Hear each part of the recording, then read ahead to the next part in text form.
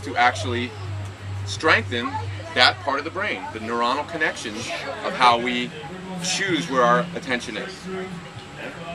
So the first one I'm going to do is very simple, and we do this with all the kids. I'm going to ring this bell, and I want you to pay attention to the sound of the bell, and see if you can aim and sustain your attention all the way until the bell is not heard anymore. When you stop hearing the sound of the bell, raise a hand. Okay. Let's see if you can sustain your attention all the way through the whole sound of the bell.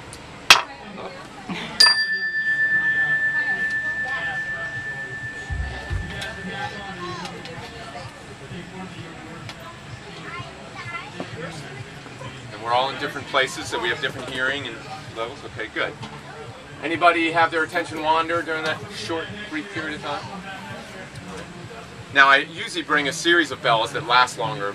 Don't have them all here with me today. So I'm going to ask you now to do with sound to allow yourself to open up your field of awareness and focus on sound, all of the sound.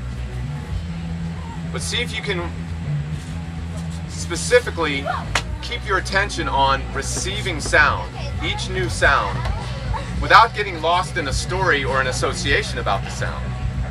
So there's the direct experience of the sound, and then there's the commentary about the sound, the associations about the sound. Because what will happen is if you get in the association, pretty soon your attention is going to be somewhere else. You're going to be thinking about something in the past or the future. So just with your awareness, I'm going to shut up here in a minute. Take in all the sounds around you. You can switch from one sound to the other or just stay with one sound. But see if you can just let the sound come in and receive the sound as just sound, as if you were had never heard it before and you're curious.